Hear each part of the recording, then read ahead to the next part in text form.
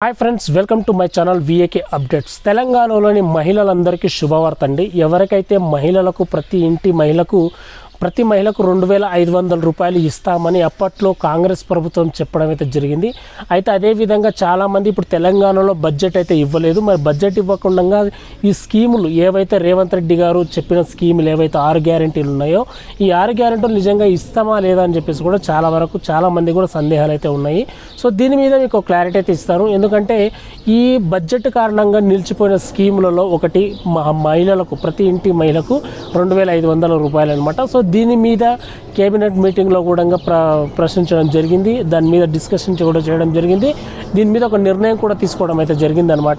So త్వ- మీకు my ప్రతి ఇంటి మహిళలకు రెండు వేల ఐదు వందల రూపాయలు అనేది ఖచ్చితంగా సీఎం రేవంత్ రెడ్డి గారు ఇస్తామైతే చెప్పడం అయితే జరిగింది. దీనికి సంబంధించిన కొన్ని విధి విధానాలు కూడా తీసుకురావడం అయితే జరిగింది. అయితే అప్పట్లో ఆరు గ్యారంటీలు ఇస్తామని చెప్పిన ప్రభుత్వము అప్పుడున్న విధి విధానాలను మొత్తానికి ఇప్పుడు తీసేసి ఇప్పుడు మళ్ళాగా కొత్త కొత్తగా విధి విధానాలను తీసుకురావడం అయితే జరిగిందనమాట. అప్పుడు ఆరు గ్యారంటీల్లో మనకు మహిళ ప్రతి ఇంటి మహిళకు రెండు వేల ఐదు వందల రూపాయలు అలాగే ఉచిత రేషన్ కార్డులు రేషన్ కార్డులు అప్లికేషన్ పెట్టుకోవడం కానివ్వండి లేదంటే మనకు పెన్షన్లు పెంచి ఇవ్వడం కానివ్వండి గ్యాస్ సిలిండర్ ఐదు వందలకే రూపాయలు ఇస్తామని ఉచిత కరెంటు బిల్లులు అని ఇవన్నీ ఇలాంటి ఇలా ఆరు గ్యారెంటీలు అయితే తీసుకురావడం అయితే జరిగింది. అందులో కొన్ని మాత్రమే తెలంగాణ ప్రభుత్వం అనేది చేయడం అయితే జరిగింది. సో ఇప్పుడు బడ్జెట్ కారణంగా కొన్ని ఈ స్కీమ్లు అనేది నిలిచిపోవడం అయితే జరిగింది. అందులో ఈ మహిళ ఎంపీలకు ప్రతి రెండు వేల ఐదు వందల రూపాయలు అనమాట అయితే కేబినెట్ మీటింగ్లో చర్చించడం జరిగింది ఏంటంటే ఈ ప్రతి మహిళకు రెండు వేల ఐదు వందల రూపాయల స్కీమ్ ఈ పథకం కోసమే ప్రభుత్వం అనేది మనకు లక్ష ముప్పై వేల కోట్లు అనేది ఈ దీనికి తీసుకురావడం అనేది జరిగిందనమాట.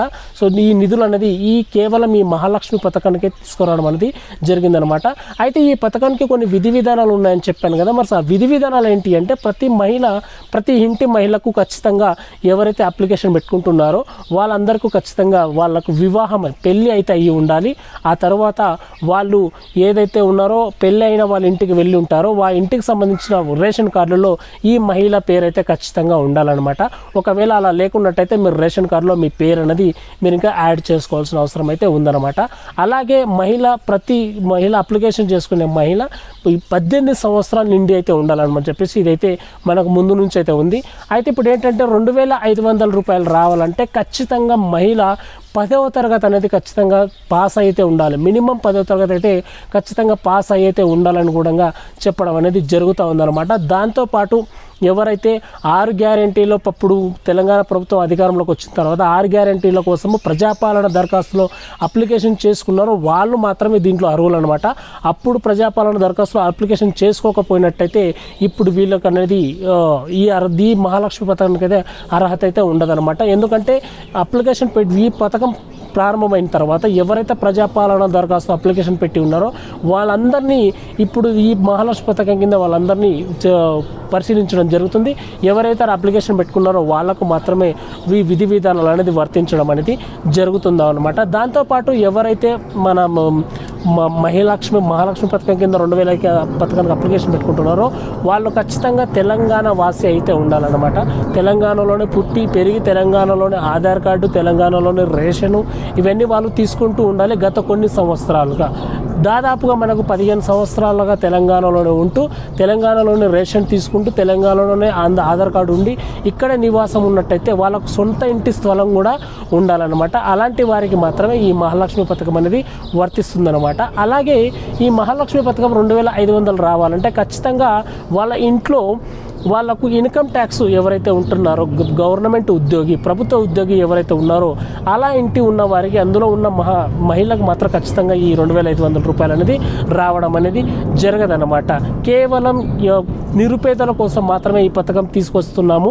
సో నిరుపేదల కోసం మాత్రమే ఈ పథకం అనేది రావాలి కాబట్టి సో నిరుపేదలకే ఈ పథకం అని చెప్పేసి సీఎం రేవంత్ రెడ్డి గారు కూడా చెప్పడం అయితే జరిగిందనమాట దాంతోపాటు ఎవరైతే ఫోర్ వీలర్ ఉన్నారో కార్ కానివ్వండి జీప్ కానివ్వండి ఇలా ఫోర్ వీలర్ ఉన్నారో అలాగే వార్షిక ఆదాయం సంవత్సరం ఆదాయం ఎక్కువ ఎవరైతే ఉందో వాళ్ళ కూడా దీంట్లో ఈ మహాలక్ష్మి పథకం అనేది అర్హత అయితే ఉండదన్నమాట.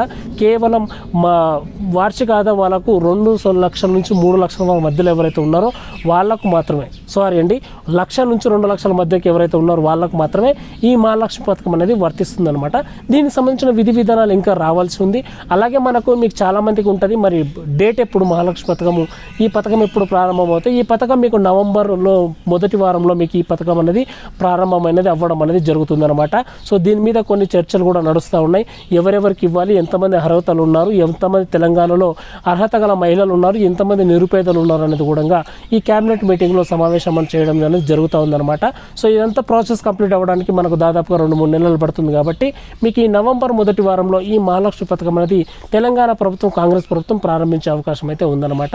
సో మరిన్ని వివరాల కోసం ఈ ఛానల్ని సబ్స్క్రైబ్ చేసి పక్కన బెల్ ఒక ఆన్లో పెట్టుకోండి. అలాగే ఈ వీడియోని ఒక లైక్ చేసి మీ ఫ్రెండ్స్ అండ్ ఫ్యామిలీకి కూడా షేర్ చేయండి. అందరికీ నమస్కారం.